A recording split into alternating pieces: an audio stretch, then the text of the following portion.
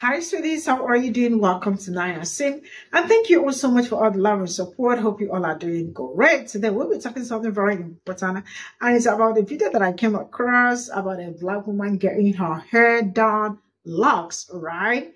So I think a white man stitched the video and he wants to know why, I mean, her hair is being locked that way. And mind you, that same man has locks on, right? And a lot of people are asking him, why do you have to start asking or start telling a black woman how to make her hair and what to use and what not to use and all that? And how did I find that? I think, uh, okay, now, sincerely speaking, I do not have any say or I cannot recommend any hair for a white person white because I have not lived that experience. I don't know what her hair or the hair texture is like. So I cannot recommend hair product or recommend um, how to how she makes her hair and all that, right? So the same way, I am also expecting her not to tell me like or tell me the best products because like you know she doesn't understand my hair type or hair texture and all that. So for him to come out and start saying, why does she have to do that hair, her hair like that? I mean, caused a lot of people to start asking questions and why he is, uh, I mean, like, you know, being a black woman's business. Let's get into this video. All right. So this might break a bunch of people's hearts. It's so ironic how certain type of groups decide to do something that we do. And when we did it, it was barbaric, it was inhumane, it was low class, it was a poor taste to society. And when they do it, they have the nerve to tell us about our technique and method. When our technique and method was done from centuries, okay, before and after Christ, we had done that. But when we did that, that was immortal and that was defying and that defies the whole entire synthetic the whole entire ethnicity of being a human. Okay? To this day people look down at rastafarians. To this day a young boy well actually a young man because he's not a boy a young man who lives right here as a native in this country of the united states of america in texas. And many other children who who are black from their DNA have worn this type of method because it was something not as a trend but part of his culture, his expression because his ancestors were denied the fact to to have this type of hairstyle. This was a type of hairstyle that it was not corporal friendly. And then when we see people that's outside of our culture and they say that we don't have a culture, okay, which we do.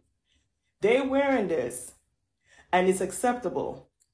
They can go to any corporation, they can own a business, they can do go to school, and they'll tell them, oh, you don't have to take off your locks. But a young man that's living in the residence of Texas, who tends to a high school, they're treating him like he's a prisoner and using him as an experiment to put him into a place of delinquency.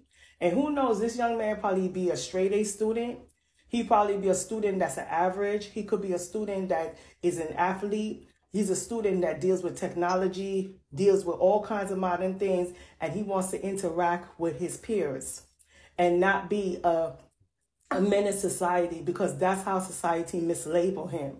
Because the fact that he went to school and he had locks in his hair.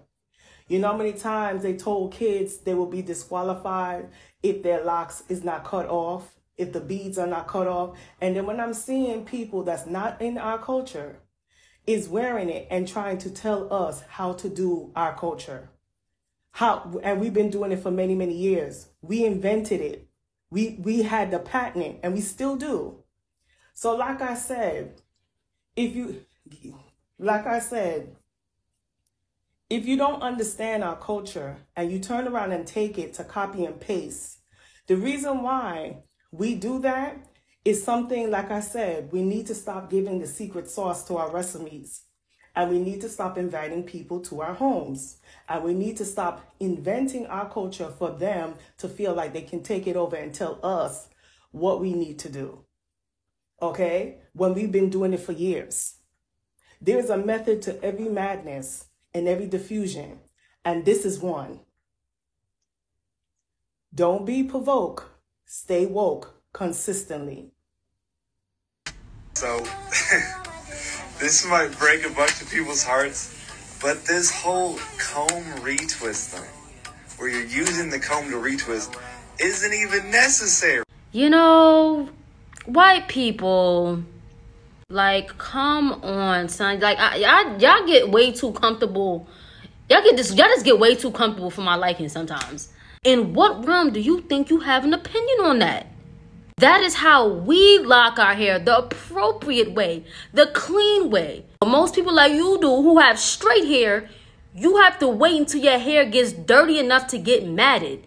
Get them French fingers out of here. The ends of your hair look like stretched cotton. Why are you having an opinion on that? Like, worry about your own scalp, okay? Like, ew. Trust me when I say all locks are not built the same, sweetheart. when it comes to locks, maintenance is important. You know, detoxifying the locks is important because why? Cleanliness, okay. But why I'm even having this conversation with somebody who probably don't even use a washcloth? Isn't even necessary. You know, white people. So I'm gonna say something that's probably gonna get me flamed, and if you don't like it, leave a comment. If like, do leave a comment. Don't leave a comment. Keep scrolling. I just don't care. But at this point, white people having comments about braids and dreads, I, I just don't think it should be an issue anymore. What I stitch is a white guy's commentary on how black woman is um like retwisting a dreadlock and then followed by a black woman who who feels because he's white he shouldn't have any opinion and his dreads are messed up and he doesn't use a washcloth wash which again I feel is kind of racist because again if some white person was using stereotypes against a black person to discredit their opinion there'd be a problem. But again I guess it's funny when black TikTok does it.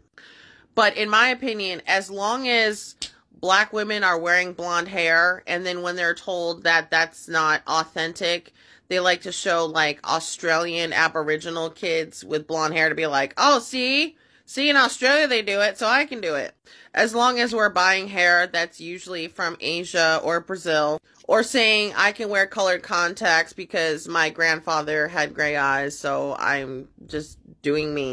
As long as we're doing all these things that even though yes you could probably find in sub-saharan africa but it's not the norm it's not the majority i just don't think it's our place anymore to say anything about these white people with dreads and braids. I think in my opinion we need to let it go. If i get flamed for it fine. But i will say based off of tiktok i have on a commentary about being natural and people telling me how ugly i am again i hope your opinion and point can stand on your argument and not just attacking people just like the black woman I stitched who like automatically went to racist stereotypes about how he don't use a washcloth and that he's dirty.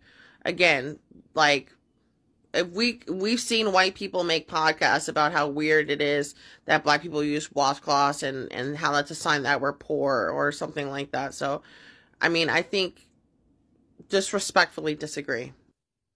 This thing, where you're using the comb to retwist, isn't even necessary. Let me get this right. You, a paper person, are going to tell us how to do something that is culturally appropriate to us. What, what next? You gonna have your sister come up here and tell us how to correctly input stitch braids? Or let me guess, your grandma gonna teach us how to do bantu knots. Get the fuck out of our space, nigga. You made a whole video being loud and fucking wrong. Actually, there's more than one way that you can retwist. That is just one of. Now, you're right. The comb is not necessarily on your hair, because ain't do shit been tangled up in the goddamn comb. Stay on the paper side. You don't know shit about here. Just a heads up, you have what we call mat locks. This is a Scandinavian thing. It's from y'all forefather. What we have are locks. They stand up against gravity. You see? So this is all I got from this. And uh, the truth is that um, I don't know how to say this, but uh, I mean, I can't say anything. There are some things I can say about uh, a white person, especially like, you know, how they take care of their hair and uh, the texture of their hair or telling them the, the right, uh, maybe hair brand or the right way to like, you know, probably comb their hair because I do not have uh, enough information to talk on that, right? And I also would never want to talk on it because I have zero experience about it, right? He's a white person, no doubt, and he has locks, right? And because he has locks, I mean, our hair texture and the, his own texture, we don't have the same hair texture, right? And he cannot know better about our hair texture and how we do our hair and how we comb it or how we retwist or twist, whichever one. But I know that uh, he really does not have a lot to say about it or trying to question how, why is it even necessary? Why should, why do you have to use like, you know, comb to retwist your hair and all that? I mean, it is really very vital that you know how we retwist our hair and how it goes, right? So he came coming, he actually put his, he knew that what he said, I do not have any problem, like, you know, with him or whatever. But he knew that uh, he is not in good position to ask what we are doing with our hair or how we are doing it or how we are retwisting it or why we are using like, you know, comb or something. He knew that he wasn't supposed to ask that question. So straight up, he put his video on private. So the video is no more, like he can't access it, aside from the people that were able to stitch his video, I mean, on time and all that. So, uh, I don't know how, how to do that, but, uh,